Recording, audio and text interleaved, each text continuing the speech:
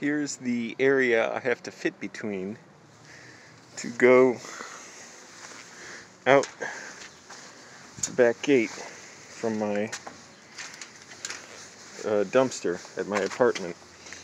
because uh, my key for some reason now won't, won't open the door to go back inside.